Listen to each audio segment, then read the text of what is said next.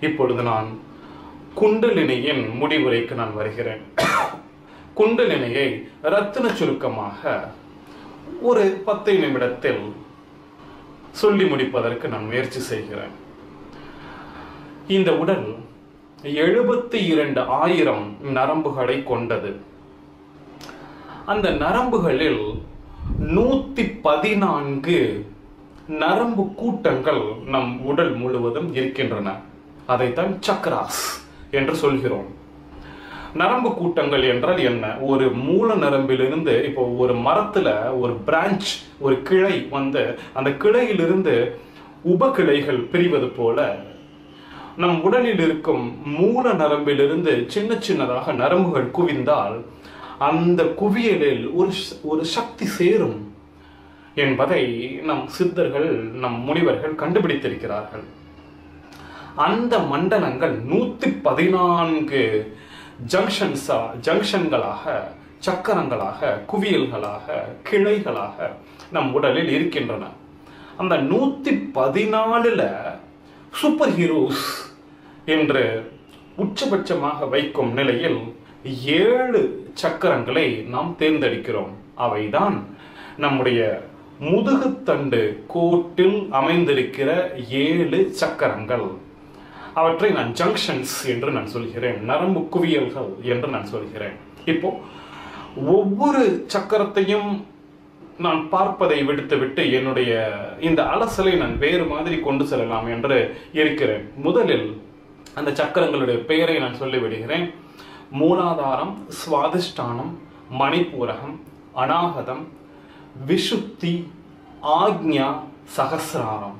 இது ஏழும் இந்த நம்முடைய முதுகு தண்டில் இந்த உச்சியிலிருந்து நம்முடைய ஆசனவாய் வரை இருக்கிற அந்த முதுகு தண்டில் நேர்கோட்டில் அமைந்திருக்கிற ஏழு சக்கரங்கள் என்று நாம் சொல்கிறோம்.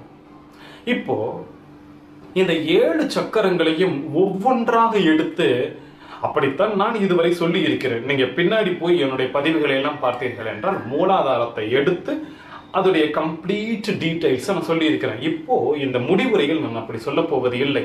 நான் விஷயங்களை எடுத்து ஒவ்வொரு சக்கரத்திலும் அந்த விஷயங்கள் எப்படி இருக்கின்றன என்று நான் பார்க்க போகிறேன். ஒரு உதாரணத்திற்கு லொகேஷன் மூலாதாரம் எந்த லொகேஷன்ல இருக்கு? சுவாதிஷ்டானம் எந்த லொகேஷன்ல இருக்கு? என்று ஒவ்வொரு சக்கரத்தையும் எந்த லொகேஷன்ல இருக்கு என்று பார்க்க போகிறேன். இதழ்கள். மூணாவது இடத்துல எத்தனை இதழ்கள் இருக்கு? சுவாதிஷ்டானத்துல. கடவுள். ஒவ்வொன்றிலும் எத்- என்னென்ன கடவுள்? இந்த மாதிரி விஷயங்களை எடுத்துக்கொண்டு ஒவ்வொரு சக்கரத்திலையும் அது என்னென்ன மாதிரி இருக்கு என்று பார்க்கும் பொழுது நமக்கு ஒரு கம்பேரிட்டிவ் அனாலிசிஸ் கிடைக்கும். இது என்னுடைய தனிப்பட்ட அலசலை உங்களுடைய ஞானத்திற்கு கொண்டு வர வேண்டும் என்று ஆசைப்படுகிறேன். முதல் விஷயம் லொகேஷன் மூலாதாரம் எந்த லொக்கேஷனில் அமைஞ்சிருக்கு அப்படின்னு பார்த்தீங்கன்னா நம்முடைய பிறப்புருக்கு பிறப்புறுப்பு இருக்கிறது தெரியுமா?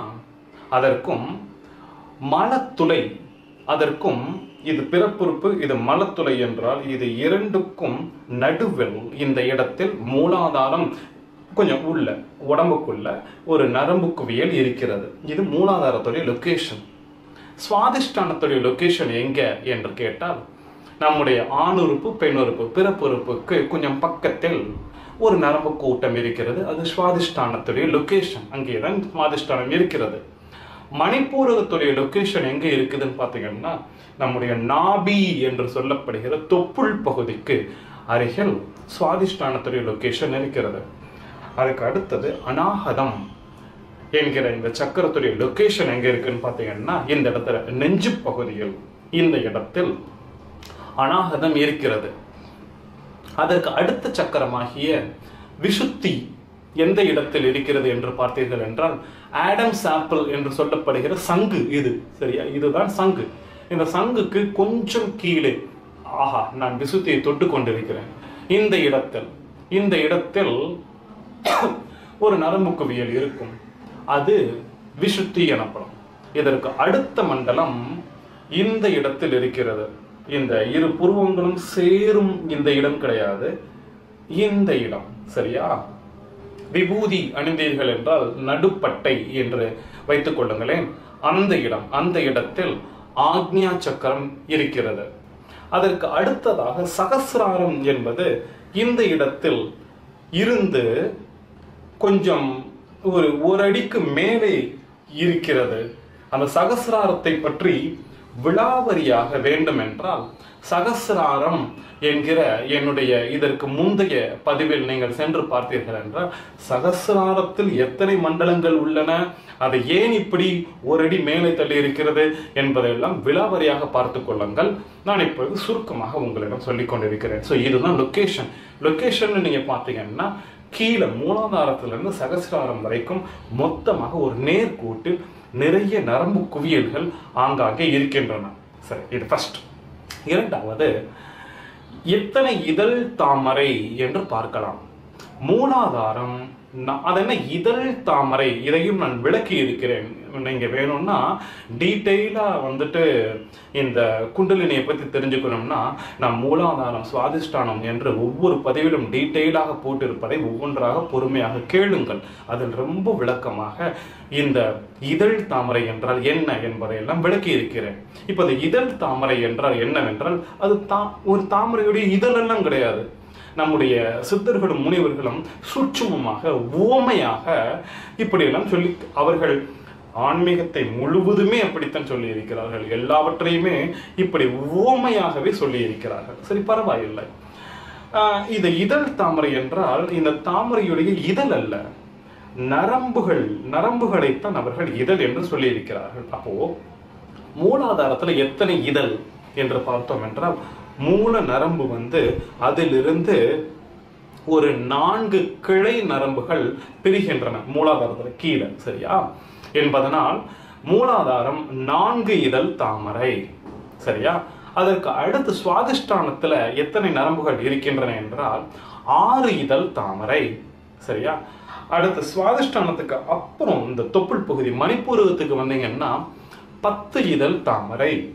இதற்கு அடுத்தது இங்க அநாகதத்துக்கு வந்தீங்கன்னா பனிரெண்டு இதழ் தாமரை. விசுத்திக்கு வந்தீங்க அப்படின்னு சொன்னா பதினாறு இதழ் தாமரை. ஆக்ஞாவுக்கு வந்தீங்கன்னா இரண்டு நரம்புகள் தான் இருக்கும். அதை நீங்க ஆக்சுவலா கொஞ்சம் இழுத்து பிடிச்சீங்கன்னா அந்த இரண்டு நரம்புகளையுமே பார்க்கலாம். இந்த நெத்தியில அப்படி இரண்டு நரம்புகள் வரும். இரண்டு இதழ் தாமரை. சகசராரத்துக்கு வந்தீங்கன்னா அது வேற விஷயம். அதை பத்தி டீட்டெயிலாக தெரியணும்னா சகசராரம் என்றால் என்ன என்று நான் ஒரு தனி பதிவு போட்டிருக்கிறேன். அதில் பாருங்கள் ஆயிரம் இதழ் தாமரை என்று சொல்கிறார்கள். அது ஆயிரம் நரம்புகள் அல்ல அது வேறு விஷயம். அது என்னவென்று அங்கே போய் பார்த்து கொள்ளுங்கள்.